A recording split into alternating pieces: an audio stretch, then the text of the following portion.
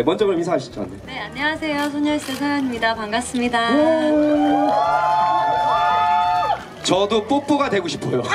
네, 알고 있네. 네. 인사 말씀하시죠. 네, 어, 오늘 이렇게 행사에 초대해 주셔서 정말 감사드리고요.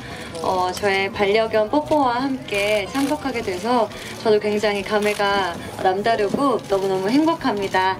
어, 네, 너무 반갑습니다. 고맙습니다.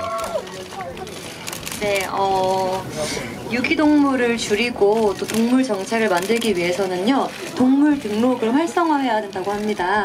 그래서 많은 분들이 어, 동물 등록에 함께 참여해 주셨으면 좋겠고요. 오늘 행사를 시작으로 저도 동물 등록을 활성화하는데 많이 알리도록 하겠습니다. 감사합니다. 고맙습니다. 아유.